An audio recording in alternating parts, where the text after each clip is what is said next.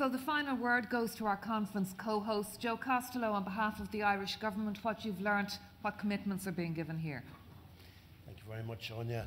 There's, there's not very much left after David has given us that litany of things that he is committed to and we should commit to. It's my advice to the boss, sir. It's your advice. Um, but in the first instance, could I thank yourself, Anya, and thank all of the people, Mary, uh, and all of the organisers, my own uh, Uh, department, Department of Foreign Affairs, Taoiseach this year, Al, of course, who came especially here to address us. But I want to particularly thank all of the people came, that, who came from far and near to participate all of these grassroots participative activists who made this conference a success. And I think the first message coming out of it is the process. And this is the message I think we have to get far and wide for the duration of the post to, to 2015 review over the next two years that the way to go about it is to go to the experts. And the experts are not us up here, the experts are you down there who have the experience of the ground on the work that you do, the experiences in your own community. And that must be the way that we come about the new uh, priorities and the new goals for the post 2015 Millennium Development Goals. So that's the first message that I would be taking out, and I will be selling that. But I will also be selling the message as a politician, uh, the message in relation to the substance that we've been talking about. And the substance that we've been talking about is the holistic approach, the nexus, as Al said, between hunger, and nutrition, and climate justice, climate change, and climate justice. That's an exceedingly important nexus. And that's the combination of the sustainable and the development. And that's exceedingly important. I will be bringing it in the first instance, the end of this week, to the World Bank, where I'm attending, but with that are the, the, the members of the group that Ireland is involved with, and that is Norway and Denmark, on the, uh, the one working group on the Sustainable Development Goals, and I will be informing them of the work that was done here this week.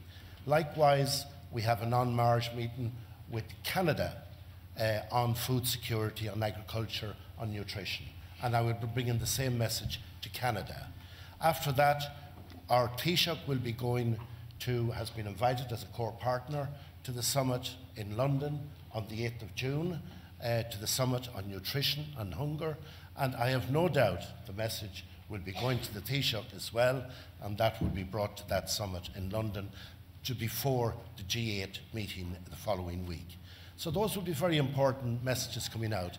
And then finally, I might say in that respect, is that there is at the present time Council conclusions being negotiated by the Irish presidency in relation to maternity and child and nutrition uh, issues, where we're putting together a Council document and position for the European Union itself, and we're also putting in place an implementation plan, which is very much related to what we've been discussing.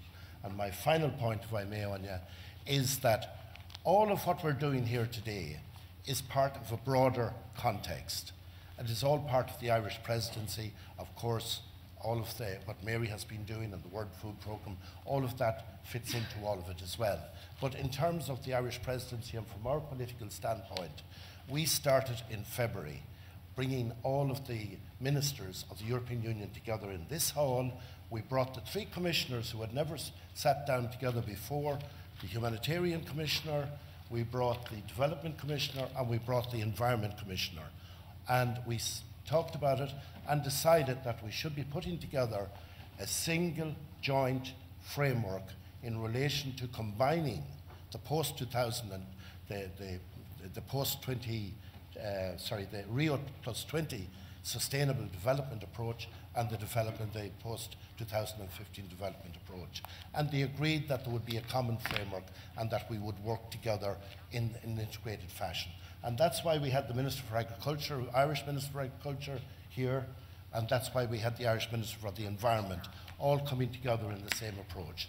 So that we see this then fitting into that, we we'll be feeding into uh, that into, into the post 2015 uh, review as a core issue that will be part of the substance in the broader framework.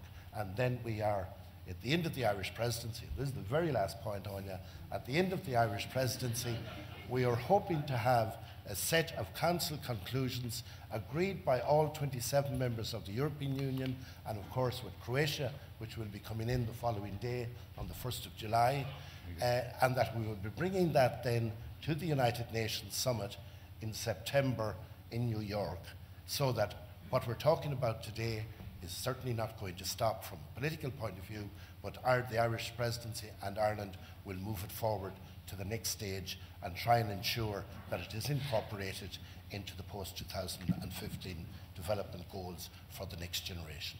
Thank you. That's good, Barbara.